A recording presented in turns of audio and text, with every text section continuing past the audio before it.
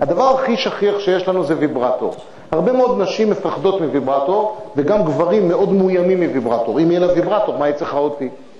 רציתי לעשות לכם היכרות קצת עם ויברטורים, ויש כל מיני ויברטורים, אני, יש לי אוסף כזה קטן, קצת אה, מצחיק, אבל רק בשביל להראות לכם, כדי שלא יתפסו אותך בשער, אז יש בצורת תירס, ויש בצורת מלפפון, אתם רואים את הבטריה, ויש גם בצורת בננה, אז זה עם הבננה יש לו גם שכלול כזה, שהבננה עושה סיבובים, אוקיי?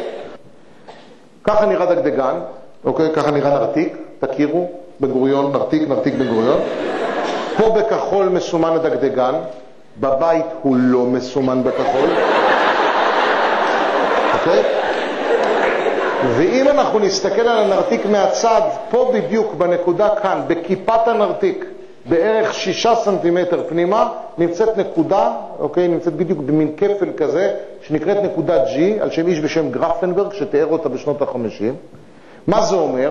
זה נקודה שיש נשים, אם תכניס את האצבע ועשה תנועה של בוינה, בוינה, בוינה, בוינה, בוינה, בוינה, יש נשים שמתחילות לדבר שפות שלא דיברו קודם.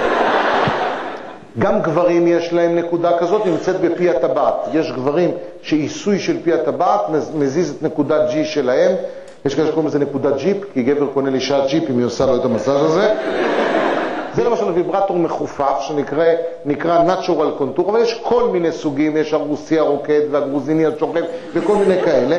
בעצם זה ויברטור שיש בו שני מנועים, מנוע ראשון, מנוע שני, והם רוטטים בצורה א-סינכרונית, ובעצם הם מזיזים, זה מזיז את הדגדגן, זה מזיז את הנקודה G, וככה זה עושה לאישה טוב. יש גם ויברטורים שהם ויברטורים רק לדגדגן, אוקיי? וזה בדרך כלל מה שנקרא הרוקט פוקט. הוויברטורים שהם ויברטורים קטנים רק לדגדגן, וזה ויברטור שבעצם רוטט, אוקיי? וזה ארוז כמו אודם, כי אם אתם רואים מישהו בשירותים מורחת אודם פה, שתבינו שזה לא זה, וזה בעצם, היא בעצם מזיזה עם זה, או זה נוגע בדגדגן. עכשיו יש נשים שמגע ישיר לא טוב להם. וצריכות מגע קצת יותר מרוחק, דרך בגד או דרך אצבע, כאילו זה מרטיט את האצבע ונוגעת עם האצבע. גבר לא יכול לעשות לאישה כזה דבר, לא יעזור. בעיקרון גבר יכול לעשות לאישה על הדגדגן, אבל אחרי שתי דקות מתחיל לנו מיגרנה. או שפתאום נכנס לנו איזה שערה באמצע.